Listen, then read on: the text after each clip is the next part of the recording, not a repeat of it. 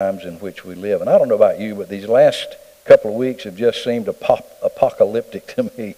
Uh, you know, Iran and Israel and Lebanon, and then we've got these storms, and it just has converged uh, on me mentally the last couple of weeks. I'm like, wow, um, this uh, this is not the tribulation. I'm aware of that, but could you imagine what the earth is going to go through uh, during those times? So, open your Bibles to the book of Daniel, chapter number nine. Daniel 9, and want to try to lay out for you the future of history as is given to Daniel in chapter 9. We're going to begin reading with verse number 20 when you get there. All right. If you're there, say amen. Well, okay. I'll wait for you to get there. Daniel chapter 9. Go to the book of Ezekiel and turn right, and you'll run right into it. All right, everybody got it? Let's begin reading in verse number 9. And whilst I was speaking and praying and confessing my sin and the sin of my people Israel, and presenting my supplication before the Lord my God for the holy mountain of my God, yea, whilst I was in prayer, speaking in prayer, even the man Gabriel, whom I had seen in the vision at the beginning, being caused to fly swiftly, touched me about the time of the evening oblation, that's three o'clock in the afternoon and informed me and talked with me and said, O Daniel, I am now come forth to give thee skill and understanding. At the beginning of thy supplications, the commandment came forth, and I am come to show thee, for thou art greatly beloved. Therefore understand the matter and consider the vision. Seventy weeks are determined upon thy people and upon thy holy city. And here are the reasons of these seventy weeks which uh, the Jews had sabbatic years, and the 70 weeks, a week in Scripture is seven years. So 70 weeks is 490 years. The Lord has set aside a specific period of time, 490 years, where He is dealing specifically with Israel. And here's, here's the purpose of this. Number one, to finish the transgression, to make an end of sin. So we're talking about the cross about the sacrifice of Christ, to make reconciliation for iniquity, and to bring in everlasting righteousness, and to seal up the vision and prophecy, and to anoint the most holy. Know therefore and understand that from the going forth of the commandment to restore and build Jerusalem unto Messiah the Prince shall be seven weeks. That's 49 years. And threescore and two weeks the street shall be built again, and the wall even in troublous times. And after threescore and two weeks shall Messiah be cut off, but not for himself. And the people of the prince that shall come shall destroy the city that was Titus, when the Romans came in 70 AD, destroy the city and the sanctuary, and the end thereof shall be with a flood. And unto the end of the war desolations are determined. And he shall confirm the covenant with many for one week. And in the midst of the week he shall cause the sacrifice and the oblation to cease, and for the overspreading of abominations he shall make it desolate even unto the consummation, and that determined shall be poured upon the desolate. Daniel was taken hostage by the Babylonian military when he was 19 years old. He would stay in Babylon for the rest of his life. He died at approximately 93. So from 19 to about 93 years of age, Daniel never got to come home. And he would serve in the administrations of three worldwide empires. God had his man in the right place for all of this period of time. In September of 605 BC, Nebuchadnezzar was the king of Babylon, marched against Jerusalem and he besieged it. It was a horrible time for the Jews. Their food supply was cut off, and it was just a, a, a terrible time of uh, destruction for them. And Babylon, kind of give you a, a little bit of a timeline, Babylon rebelled against Assyria in 626 BC. This was a change of world government. And they took the capital city of Nineveh in 612 BC. And Babylon then became the master of the Middle East when it defeated Egypt in 605 BC. So there were a lot of wars and, and conflicts and engagements uh, and it didn't happen overnight. It, it took quite a while for all this to happen. And the same year, Nebuchadnezzar defeated Jerusalem. Uh, that same year, they, he took the cream of the intellectual crop uh, back to Babylon with him. And these, they, didn't, they didn't take the, the farmers and those guys. Uh, they took the, the thinkers and they took the cabinet and administrators and things like that. And they were, in, in 539 BC, Babylon was overthrown. And so there, there's this flipping of uh, nations that were ruling the world. And they were overthrown by the Medes and the Persians. And the Medes were from northwest Iran. So this has always been a hot spot on earth. Uh, if you want to see what's going on biblically and prophetically, just keep your eye on Israel. And that's the, that's the window of all this prophetic information. And so uh, Daniel lived until the third year of King Cyrus. And that was in the year 536 BC. So Daniel was active in Gentile and Jewish political affairs from 605 to 536. This guy was extremely influential in, in world affairs. And along with Daniel, remember he had his three buddies? And we only know them by their Chaldean names. And what are they? Shadrach, Meshach, and Abednego. And those are their Chaldean names, but their Hebrew names. And what, here's what these guys did. Um, when they got to Babylon, they changed their names and basically took their Hebrew name and gave them the equivalent of a Chaldean name. For instance, Hananiah means beloved of the Lord. His name was changed to Shadrach, which means illumined by the sun god. And then you have Mishael, which means who is as God. His name was changed to Meshach, which means who is as Venus. And then you've got Azariah, which means the Lord is my help. And he was given the Chaldean name Abednego. Not Abednego, but Abednego. And that means the servant of Nebo, which was one of the major gods in uh, Babylonian culture. Daniel was shown the entire course of human history. As a matter of fact, Nebuchadnezzar was shown the same thing.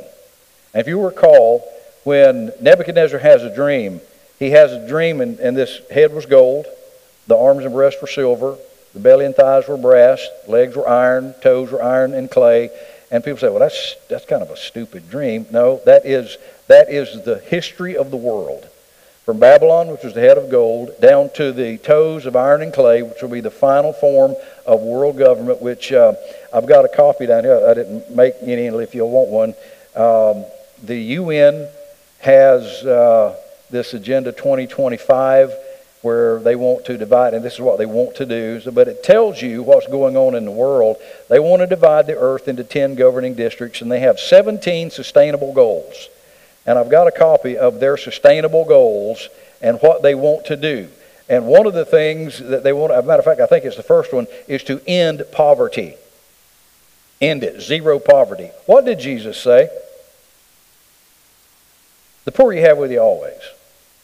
I mean, man tries to correct the world when God already has the formula to do that if we would just simply listen to Him. But um, anyway, history is divided into these weeks of time. And here's, here's what we're looking at. Again, a week is seven years. And Daniel is going to be shown 70 weeks of years. That's 490 years. And in order to find out, well, what exactly does this mean, we're going to have to have a starting point. All right, from the starting point on, that will give us a little bit more information. And so let's see if technology is going to work for us.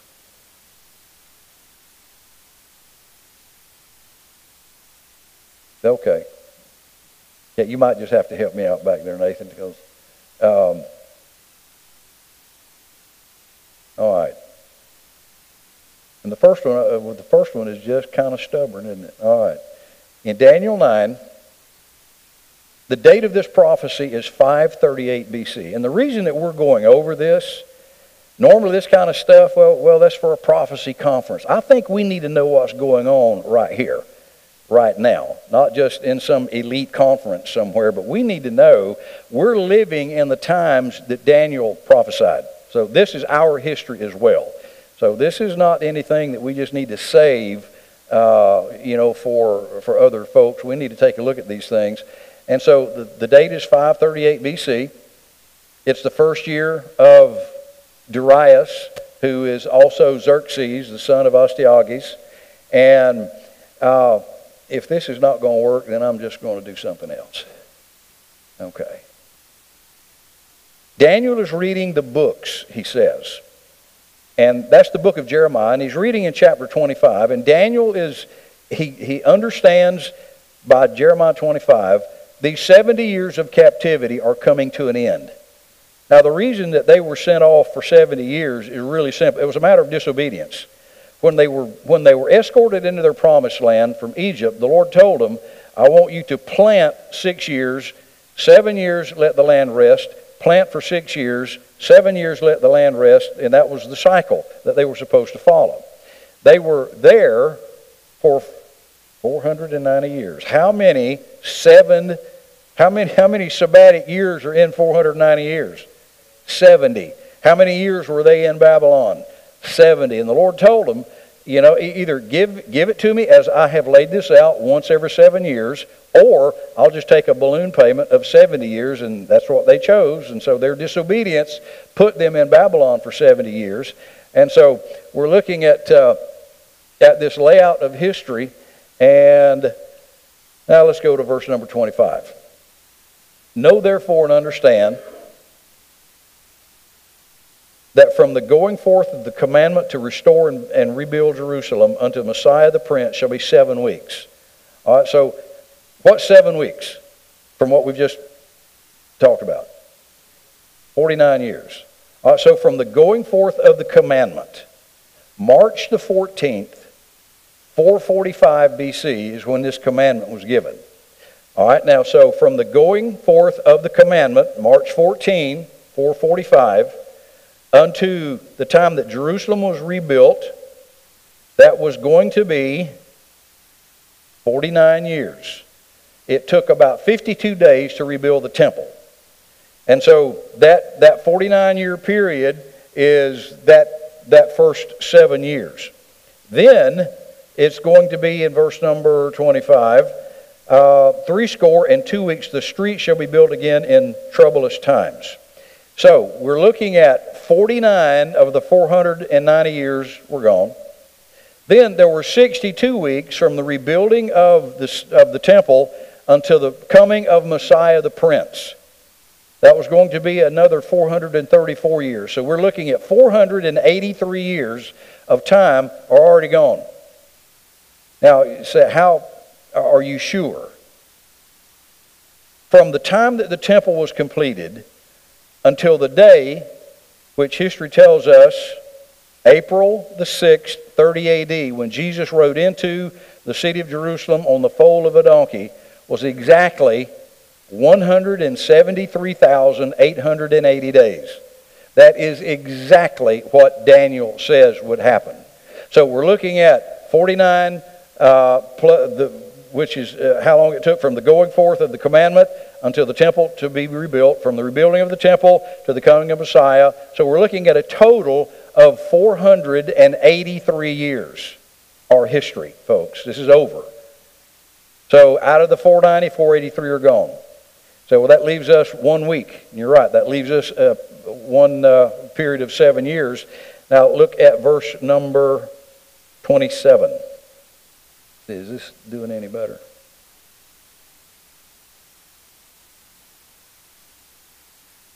I don't know. Can y'all even see that? I need I need to learn to make the type bigger. All right. So, verse number 27 And he, it's the Antichrist, shall confirm the covenant of the many for one week. Here's our final week. This is still future. So, 483 of these years that the Lord has revealed to Daniel are history. And in that history, we have had the beginning of the times of the Gentiles. We have had the crucifixion of Christ, the resurrection of Christ. Now we've got seven years somewhere in our future. All right? No one knows when this particular period of time is going to begin. I am a pre trib rapture believer. I am convinced in the imminent return of Christ, which means that Jesus could come back any minute. Could he come back today? I believe he could. There does not have to be a temple rebuilt in Jerusalem. None of that stuff. Florida doesn't have to win the national championship, which that could be a thousand years. you don't know anything about that. But nothing has to happen, is my point. Jesus could come back right now. All right, now, we're, we're told that this seven year period of time is going to be one final period of time on this 490 year clock. And in the middle of this seven year period, this guy, the Antichrist, is going to break this covenant. Now, what does that mean? Well, it means that a covenant is going to be signed for the period of seven years. And it appears as though, and I could be wrong about this, it appears as though this is going to be some sort of a lease agreement that's going to allow Israel access to the Temple Mount, which they do not have right now. All right? Because the Mosque of Omar is there, and there's even some controversy where, you know, where the Temple Mount actually was and, you know, where the temple is going to be built. But uh, it seems as though that the Mosque of Omar may be uh, uh, a structural problem there. And can you imagine what would happen if the, something happened to the Mosque of Omar? You know, especially if it was traced to, you know, Jewish detonation. Uh, that would that would really, really be the end of things. And so we've got this period of time, the seven-year period. The Antichrist is going to sign this agreement to allow the Jews back onto uh, the temple area so that they can reestablish the Old Testament system of economy. But for some reason, Look at verse number 27. He shall confirm the covenant with many for one week, that's seven years. In the midst of the week, that's three and a half years, he shall cause the sacrifice and the oblation to cease. And for the overspreading of abominations, he shall make it desolate, even unto the consummation, and that determined shall be poured upon the desolate. So, what we're looking at is the Antichrist at the middle point of this seven year agreement apparently is going to stop. He's going to break the terms of the agreement, and he's going to announce himself as the Messiah. At that point, Israel will realize who he is. All right, now, the first three and a half years of this seven year period, we, we refer to it as the tribulation. The second three and a half years is referred to as the Great Tribulation. Things are going to be so bad on this earth. Um, I am I am grateful, and I'm pretty much convinced that the Lord is going to take His people out of the world before all this collapses, before all this takes place. Um, and one of the one of the illustrations, anyway, that that I have in my mind is before one nation declares war on another nation, what's the first thing they do? They withdraw their ambassadors. Exactly.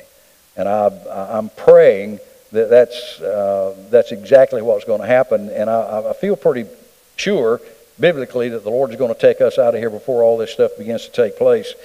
And so, yes, sir. The rapture? Yes. Yes, it could happen today, yes. But now, the, the second coming, uh, it's not just one event. The rapture is when the Lord comes as a thief in the night. All right, now, thieves do not call and make an appointment. They, they sneak in your house when you're not expecting it, and you know they don't take uh, your, your spoons and your knives. They take the most valuable things. They take your computers and your jewelry and your cash if there's any around. And what is the Lord going to do when He comes like a thief in the night? What's He going to take? The most valuable thing in this world, which is His body, the New Testament church. All right? The church will then be in heaven for a seven year period while the earth is going through the tribulation period. And this is the marriage supper of the Lamb in heaven. at the end of that seven year period, then Scripture says that he will come and every eye will see him. Every eye doesn't see him at the rapture. Every eye will see him at this second coming, and this is when he comes and he will establish his kingdom on the earth for a period of what the scripture says is 1,000 years, and we call that the millennium. Mille means a thousand, annum is years, so mille annum is a thousand years, and the Lord is going to establish on the earth a kingdom. Jerusalem will be his capital for 1,000 years. At the end of that 1,000 years, Satan is going to be released from the prison of hell. Lake of fire, he is going to be released and has not learned his lesson. He's going to stir some nations up that will be quickly uh, destroyed by the Lord Himself, and then the Lord will introduce what we understand as the uh, the eternal ages. Now, folks, you say, "Well, wow, that's a is all that really going to happen?" Yes, yes, it is. Uh, 483 of the 490 years have already happened. It's over. This was prophesied long time before any of this took place. And we still have in front of us the fulfillment of these prophecies concerning world events. And here's, here's the way this lays out in just common Wauchulese. The earth is going to be divided. We're going to lose our sovereign borders. Every nation is going to lose its sovereign border. And I've told you for a number of years there are two things that seem to be inevitable here in this country. Number one, our Constitution is going to be declared unconstitutional. Number two, Christianity is going to be legally labeled a religio illicita, an illegal religion, just like it was in the days of the Roman Empire. So when that happens, we are going to we're going to lose our capacity to do what we're doing right here. We will not be able to worship according to the dictates and the principles of the Bible. There will be no more national boundaries. There will be no more national uh, constitutions, the earth is going to be melted into a single global empire that will have one government head, there will be one military, there will be one economy, and there will be one religion. You will, well, you, I'm talking about the people that are going to be on the earth, you will worship as this institution tells you to worship. You will worship who this institution tells you to worship. You will not be able to buy or sell anything unless you have this government approved mark. We're not exactly sure what that's going to be. It appears as though there's going to be uh, an injectable little crypto sort of a thing in the back of the hand or in the forehead. And the reason here and here, there's a greater temperature change in the back of the hand and in the forward than any other part of the body, which will keep the battery of this thing charged.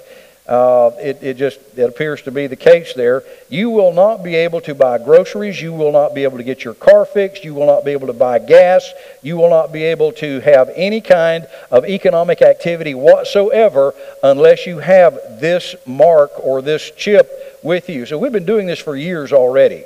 You know, high dollar dogs and high dollar pets have been chipped for a long time. If this high dollar dog runs away, all you got to do is turn your, your phone on or whatever, you can find him. We've done this with people in nursing homes for years. Folks that just walk off, people that have Alzheimer's and they don't know where they are, and they just walk down the street and keep on going. All you've got to do is tune them in and you can find them. So we've been doing this for a long time. So can you imagine? Can you imagine doing away, and we're headed in the direction of a cashless society so that cash will no longer be the uh, term of currency. Uh, we're going to be doing away with that. How about your credit cards that can be stolen, that can be hacked? And so the idea is to put all of your information on this little chip, insert this chip, and instead of pulling out your cash or pulling out your credit card, you just go and you can scan your hand now just like you do your products. Now, this sounds like science fiction stuff. But I'm, I'm telling you, the world thinks it can cure its own problems. All we've got to do is throw some more money at it. All we've got to do is have another government agency. Well, FEMA. is out of money. I guess you've heard Mayorkas in, in his uh, announcement the other day that FEMA does not have enough money to make it through the hurricane season. And just on a personal level, um, that really upset me because the federal government took $1 billion out of FEMA funds and gave it to illegal aliens. Gave them loaded debit cards, gave them all these things, while Americans, if I'm not, if, if I remember correctly, these people in Carolina and Georgia are getting what, $750? $750 versus the billions. Um, and I don't know about you, I love my country. But right now, I can't stand my government. Now, I don't know how, I don't know how that hits you, but I'm, I'm tired of the ridiculous policies that are going on in the country. But, and here's, here's the thing that's true I'm going to oppose this stuff as long as I have breath in my body. I know it's prophesied. I know that. And I've told you before, God is not causing all of these things to happen. Sin is causing these things to happen. Now, God does not punish you for your sin. He punishes you with your sin. You see, sin is its own poison. God doesn't have to do anything else. Just let sin do what sin does. In the Garden of Eden, Adam and Eve became moral felons. Their sin is what took their lives eventually, and it was centuries later, I'm aware of that. But it was their sin. There are two types of evil in the world there's moral evil and natural evil. Moral evil created natural evil. When Adam and Eve committed their act in the Garden of Eden, that is what plunged the entire world into this sin state that we're in, so that now the Bible says that the earth is moaning and groaning like a woman that is about to have a baby. We're hurting. The earth is in labor. We've got hurricanes off the coast. We've got uh, wildfires. We've got mudslides. We, we have all of these. I mean, the earth is just hurting. Why? Because mankind disobeyed God. And so when the Lord comes back, He's got unfinished business with us, folks. He's got unfinished business with the world. And when He finishes His business, things are going to be made right. And I'm glad of that. And I'm thankful that one day, sin, death, all of that is going to be in the past. Well, we've got to go through some things in order to get to this future. And we're, we're reading about it here in the book of Daniel. Somewhere in the future of the world is a seven year period of time. That period of time is referred to in the scripture as a time of Jacob's trouble. We were in Israel a number of years ago, and we went up to Masada and our guide, who uh, David Weintraub is his name, and David was telling us that this used to be the, I don't think it is anymore, but this used to be the place where all of the uh, Jewish recruits, all young people in Israel were required to serve in the military, and they would take them up to Masada, where the Jews sequestered themselves for a while, and the Romans finally took them out. And this is where they would be sworn into the Jewish military. And all of them would have to make this statement in, in mass never again. Never again. Referring to how they were treated in World War II. But I submit to you this Israel has seen nothing yet. They've seen nothing yet. So why, preacher? Why have the they've been kicked from pillar to post? They've been murdered. They've been misused and they have all of this. Why? They rejected their Messiah. He came into his own, his own received him not. And I'm just telling you this. God loves the world. He hates the sin that has ruined the world. But the Bible says that God so loved the world that he gave his only begotten Son, that whosoever believes in him should not perish, but have everlasting life. And I just want you to know Jesus Christ came into this world to become us. Jesus was not a sinner. He was worse than that. He was sin. He was the very thing that separated us from God, and that was the very thing he died for.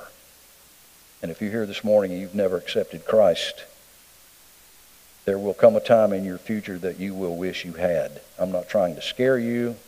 Um, that's not a threat. I'm just telling you the way Scripture is laid out. We are about to see some of the most incredible fulfillment of prophecy. The Lord's going to come back, and we do not know when.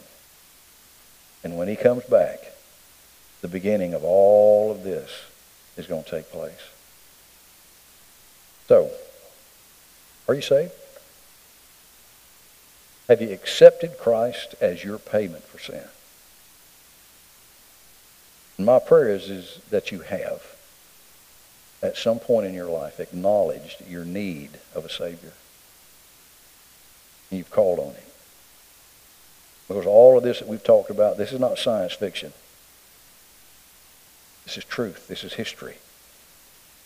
This is going to happen. It's already happened. Most of it has already happened. 483 of these years have happened. Seven years are still yet future. It's going to happen just the way it's laid out in the Bible. My prayer is that you know the God that created the heaven and the earth, and you know the God who has prophesied to us and told us exactly how history is going to end. My prayer is that you know him. Lord, thank you for the day. I pray that through this time that we've spent together this morning that something has landed in the hearts of these who are here that might not know you. My prayer is that they would acknowledge Jesus Christ, the Son of the living God, is their sacrifice for sin. And Lord, forgive us. Daniel was a godly man. And he was praying and he said, I was confessing my sin and the sin of my people Israel. And Lord, I confess my sin and the sin of my people America. Forgive us for the wickedness that we have legalized and codified and normalized in our country. Forgive us. I pray, Lord, that you would use our lives as living translations of the truths of the Bible. Bless this invitation. I do not know what decisions need to be made, but I pray that they would be made today. In Jesus' name I pray. Amen. As we stand, you need to come this morning. Would you come? We'll take a Bible and show you what you need to do to be saved. Really simple. Would you come?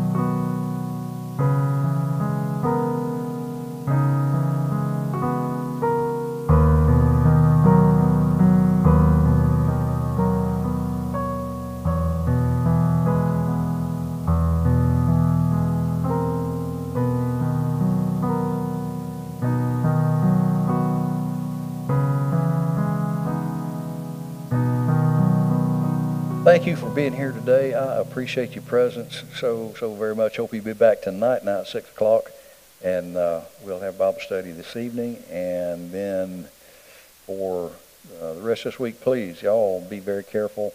And again, if anybody needs to come to the fellowship hall, you're welcome to do that. We want you we want you to stay safe, and uh, then we will not have service Wednesday night because it looks like things may deteriorate starting on Wednesday.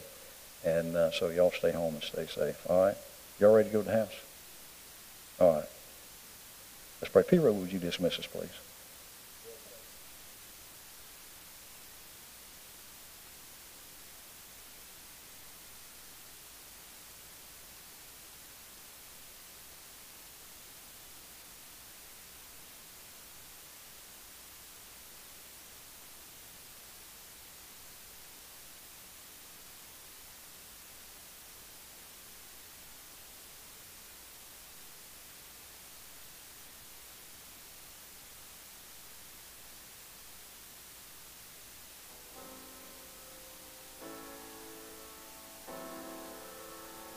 There's been so many times I got it so wrong, and a couple that I got it just right. I've seen the view from the top of the world and the sorrow by the bitter graveside. I've seen some prayers get answered and I've heard my share of no's, but there's never been a moment that you let me go. I've been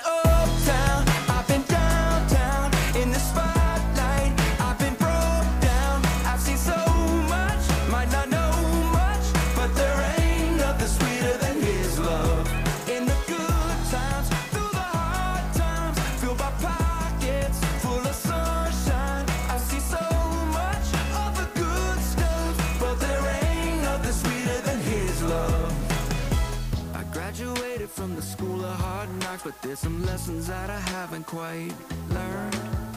One thing I know is you've been so kind to me, sweeter than a man could ever deserve. Cause we got that love from up above. And if it's all we ever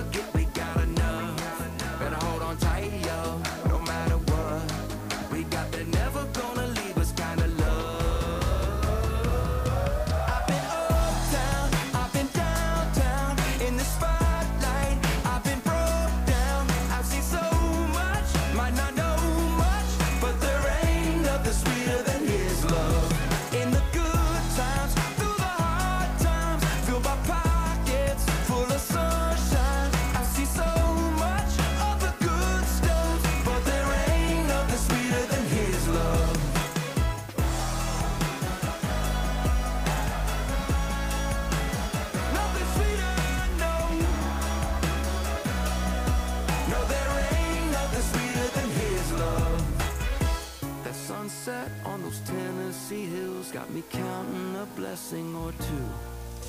Those moments in time, the best in my life, they all come from you. I've been uptown, I've been downtown, in the spotlight, I've been face down. I see so much, might not know much, but there ain't nothing sweeter than His love.